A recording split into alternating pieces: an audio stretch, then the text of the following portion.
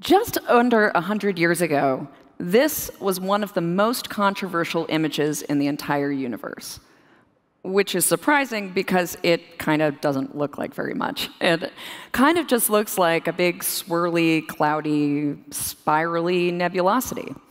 And in fact, that's exactly what it was known as. Uh, this picture is of the spiral nebula M51. That M stands for Messier, uh, named for a guy named Charles Messier, who was an astronomer in prior decades, who looked around and mapped out and cataloged all of these spirally, cloudy looking things. Due to his efforts and a bunch of other people's efforts, actually thousands of these were known at the time. But what wasn't known was what the nature of these objects were. And there was a huge divide in the astronomical community about whether these were objects in our galaxy, in the Milky Way, the billions of stars that orbit together, of which the sun is one, or whether they were, as Immanuel Kant would have called them, island universes, galaxies in and of themselves that existed far away. And this was what led to a great, great debate in astronomy, represented by the two gentlemen you see here, Harlow Shapley and Herbert Curtis. Now, Shapley believed that these spiral nebulae were objects within our own Milky Way, and that the Milky Way made up the entire universe. And Curtis, on the other hand, believed them to be distant galaxies in and of themselves. In order for that to be true, the distances that they would have to be at were completely unimaginable to people at the time. And so in 1920, these two debated each other, and it wasn't known whether the Milky Way was everything there was or not.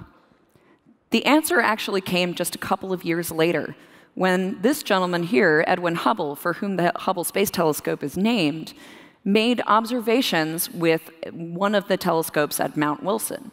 Now, the first image that I showed you was taken with the Mount Wilson 60 inch diameter telescope. Hubble was able to use the 100 inch, just a slightly better telescope. And you can see him doing that here. Now, what Hubble was able to do was to look at what was then known as the Andromeda Nebula, or M31, another one of these nebulae that had an unknown nature. But with a slightly different piece of technology, Hubble noticed that in fact, this was made of individual stars. And so within just a couple of years, we went from being just one of anything in the universe to being part of this archipelago of what we now believe to be literally trillions of galaxies, each one comprised of hundreds of billions of stars. And overnight, our understanding of the universe was completely transformed. Today, when we look at the Andromeda Nebula, now known as the Andromeda Galaxy, our nearest neighbor in space, it looks a lot more like this. And in fact, if we look at a recently published view of it that was taken with the Hubble Space Telescope, we can zoom in and see this. Note that all the things that you see here that look like stars, for the most part, are stars in our own Milky Way, like a veil that we're looking through when we look out into the universe. It's the apparent graininess of this picture that are the individual stars of our neighboring galaxy itself.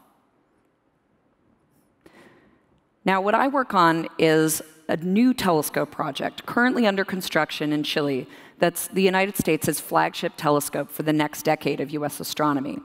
It's known as the Large Synoptic Survey Telescope, or LSST. Now, previous telescopes like LSST are what we call survey telescopes.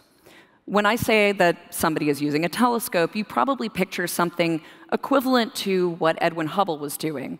Someone, usually a guy alone on the top of a mountain, looking through a telescope with their eye. But modern telescopes, in addition to not just being used by men, are also robotic. They're usually survey telescopes that map the night sky, whose data is used by many scientists for a variety of different purposes. And you're seeing some examples of that here, including uh, this image that's showing you the uh, eventual peak that LSST will be constructed on. Now, LSST's predecessor, the Sloan Digital Sky Survey, mapped the entire night sky over the course of about 10 years. But LSST is different. It will actually map the night sky roughly every three nights or so for a decade. moving us out of the realm of still images in astronomy and into a massive cosmic movie. Now, the reason that we can do this is that LSST is not just incredibly big, but very efficient. So what you're seeing here is a render of the telescope itself. And if you look, there are little sort of uh, alien-looking people next to it. I assure you this project is entirely run by humans, but there they are. So as opposed to a 60-inch or 100-inch diameter telescope like those first examples, the LSST's mirror is 27 feet across. And this entire structure that you see here can move and settle on a new patch of sky in about three seconds. So it can not only collect light so that we can see very deeply out into space, but it can collect a huge amount of data by tiling the entire night sky and doing it over and over again so that we can see how things change. So at the end of the survey, we'll have about 15 petabytes worth of data taken by the world's largest digital camera, a camera so incredibly high in resolution it would take 1,200 HD televisions to display a single image. And most notably, although cool technology is always fun to talk about, the data that LSST takes will actually be available, publicly available, immediately as soon as it's taken. So it will be available to the world itself. Now, part of the reason that LSST was so highly rated and became such a priority for United States science and then eventually became an international project is that it can do a variety of different things. By looking at how objects move, it can trace things in our solar system like comets and asteroids, including those that might threaten us by possibly impacting the Earth. It can also study stars like our sun and the planets in their context. And we can even map our own Milky Way galaxy, which is still challenging to know the shape and form of, given that we're inside of it on looking out at the universe around us. By mapping out how stars change and how they die, we can look at these cosmological explosions that help us map out not only the structure of the universe, but how elements get reprocessed and turned into heavier elements in the furnaces of stars. And by mapping out where each one of those island universes, what we now call galaxies, are, we can study the very structure of the universe itself, where every single point of light you see in this animation here is actually a galaxy comprised of hundreds of billions of stars. But with these observations, with all of this data, comes challenges. And it's not just challenges associated with managing or mining or manipulating that data. It's challenges in the way that we work, because just collecting data is not the same as making discoveries. And these bring together all kinds of challenges for how we associate with one another as human beings, the species on this planet that produces scientific knowledge. With LSST, I participate in two ways. One of these ways is that I'm what's called the Science Collaboration Coordinator. That basically means that I'm a community manager for thousands of scientists across the globe that use LSST and will in the future. So you see a small sampling of us here. But really, what is challenging about this role is that LSST is a telescope, sure, but it's also a community of people who can choose to use this telescope in a variety of different ways. And so it matters what we decide to actually do with the equipment that we build. There are different scientific implications for different choices of how we deploy the telescope and that affects different communities within astronomy differently.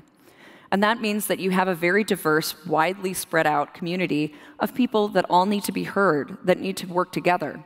And this is a challenge that goes beyond just using teleconferencing software to really rethinking how we work together to use the resources we have to make the greatest difference in our astronomical knowledge.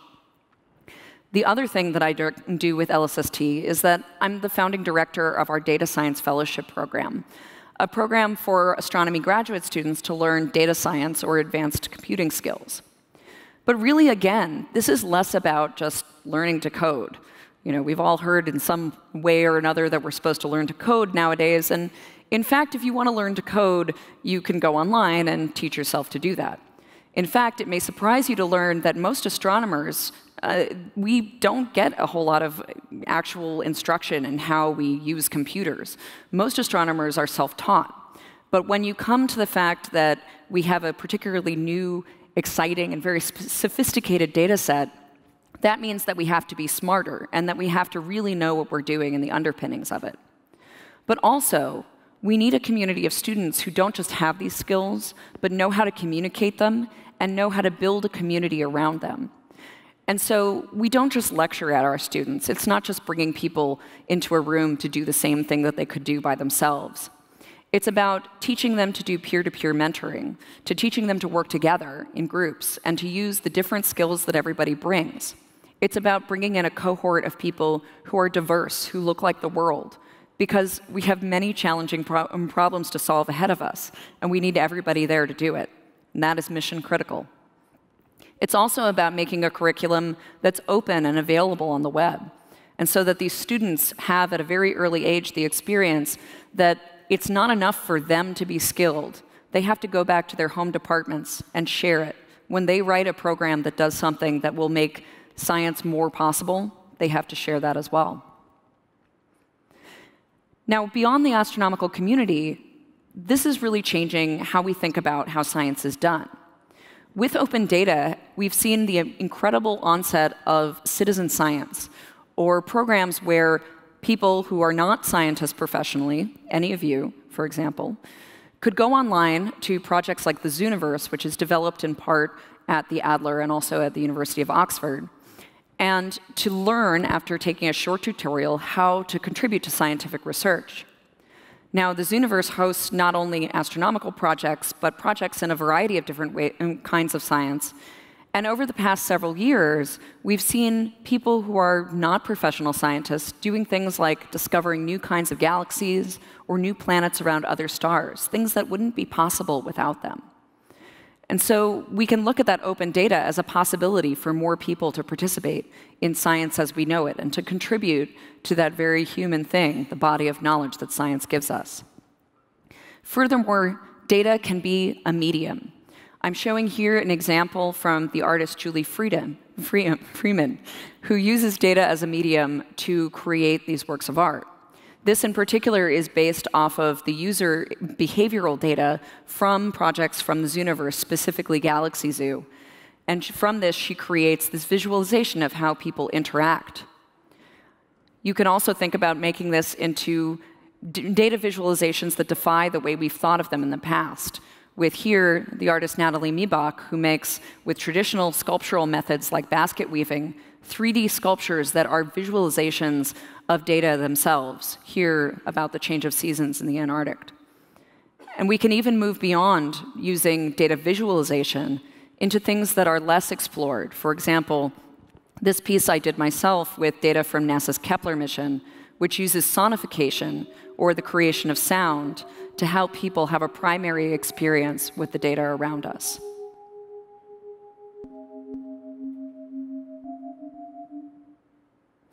Because certainly the things that we're doing and building, they're really cool. I won't lie, LSST is an amazing piece of technology. And it's currently being constructed and will be on the sky at the beginning of the next decade. And that's awesome and really exciting. But as much as telescopes are about being pieces of machinery, they're also about groups of people, communities that form around the availability of data, either bringing it into reality or to using it once it's there and accessible for all.